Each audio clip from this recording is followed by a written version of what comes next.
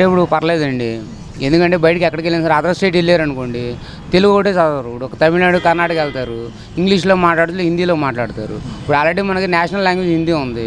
హిందీ మాట్లాడితే ఎక్కడన్నా బతికేయచ్చు అని చెప్పేసి ఇది మన ఇండియా వాడికి వాకోవచ్చు అదర్ కంట్రీ జాబ్ వచ్చింది ఇంగ్లీష్ రాదు. ఏం చేస్తారండి పిల్లలు అప్పుడు? ఓకే ఇంగ్లీష్ మీడియం పెట్టడం వల్ల చాలా మంచిది అది. ఇప్పుడు పేద పిల్లలు ఉన్నారు. వాళ్ళు ఇంగ్లీష్ మీడియం చదవాలి కాన్వెంట్లో చదవాలి. అదే గవర్నమెంట్ స్కూల్ ఇంగ్లీష్ మీడియం పెట్టడం వల్ల చాలా మంచిది వాళ్ళకి. ఆ పిల్లల భవిష్యత్తు బాగుంటుంది. చాలా మంచి జరుగుతుంది. ప్రభుత్వ పాఠశాలలో ఇంగ్లీష్ మీడియం పెట్టడం వల్ల చాలా మంచి జరుగుతుంది. తెలుగుకి ఇబ్బంది ఉండదు మన నా- మదర్ లాంగ్వేజ్ తెలుగే మనకి. మా మన మాతృభాష తెలుగు. తెలుగు ఇంట్లో ఎటు మాట్లాడుకుంటున్నాం. ఇబ్బంది ఏం లేదు. లేదండి చదువుతున్నారండి. కొన్ని ఇప్పుడు కంటిన్యూగా ఇంగ్లీష్ మీడియం కాన్వెంట్లో చదువుతున్నాం చూడండి. వాళ్ళకి మాత్రం తెలుగు రాయడం కానీ చదవడం కానీ రాదు. తెలుగు మాట్లాడటం వచ్చు. ఇప్పుడు మీరు మీ మాతృభాష హిందీ అనుకోండి. హిందీ రాయలేరు చదవలేరు. హిందీ మాట్లాడగలరు. అలాగే ఇది సేమ్ అంతే ఇంక అంతమించి ఏం లేదు. ఇప్పుడు దాన్ని ట్యాలీ చేయడం అంటే కష్టం. ఇప్పుడు ఈయన వచ్చిన తర్వాత వరదలు వచ్చిన పనులు లేక చాలా ఇబ్బంది పడ్డారు ఇసుక లేక కార్మికులు చాలామంది. ఇప్పుడు అది ప్రకృతి వైఫల్యం మనం ఏం చేయలేము అది. ఇప్పుడు ఈయన ఇవ్వకపోతే మేము నువ్వు ఇవ్వాలి నేను తీసుకోవాలంటే అది ఇవ్వడానికన్నా ఉండాలి కదా.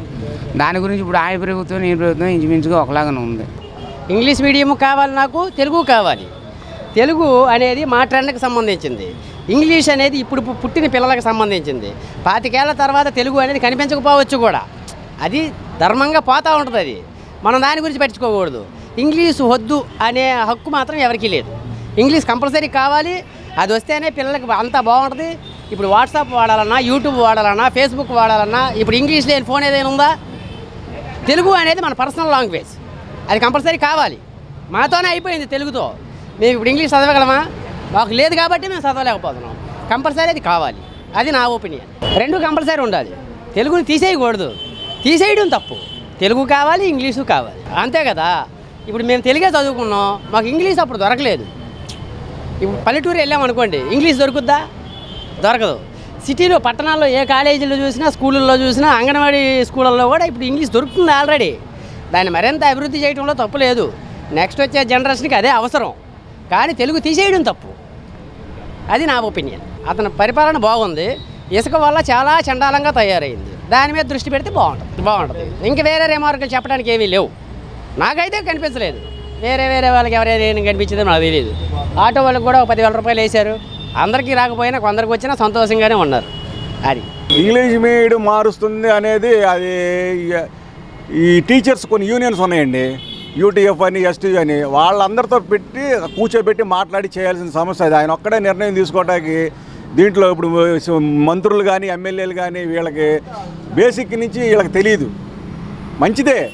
కానీ ఇప్పటికిప్పుడు ఇంగ్లీష్ ప్రింటెడ్ చదవాలంటే పిల్లలు ఇబ్బంది పడి భయపడి మానేసే పరిస్థితి వస్తుంది.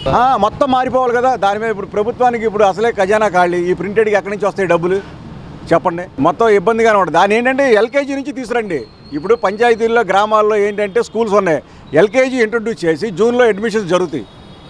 జూన్ నెలలో అడ్మిషన్స్ జరుగుతాయి ఒకటో తరగతికి. ఆ ఒకటో తరగతి బదులు ఎల్కేజీ పెట్టి అక్కడి నుంచి ఎల్కేజీ నుంచి మార్చుకుంటా రండి. ఇయర్ వేలుగా మార్చుకుంటే సక్సెస్ఫుల్ అది. ఇలా ఇప్పుడు ఒకేసారి ప్రింట్ మార్చేసి రేపు జూన్ నుంచి ఆరో తరగతి వరకు మీకు ఇంగ్లీష్ మీడియం.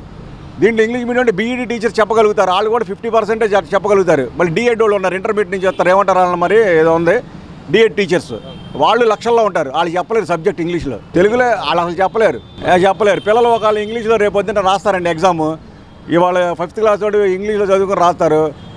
ఫిఫ్టీ పర్సెంట్ కూడా పాస్ అవ్వరు. వాళ్ళని ప్రమోట్ చేస్తాడా ఈయన? ఇబ్బందిగానే ఉంటుంది. మరి సమస్య అవన్నీ ఎందుకంటే యూనియన్ నాయకులతో కూర్చొని టీచర్స్ వాళ్ళు మాట్లాడి చేయాల్సిన పని అది. ఏదైనా ప్రభుత్వం వన్ సైడ్గా పోతుంది. ఈ వీడియో గనక మీకు నచ్చినట్లయితే లైక్ చేయండి షేర్ చేయండి. మరిన్ని వీడియోస్ కోసం మా ఛానల్ను సబ్స్క్రైబ్ చేయండి.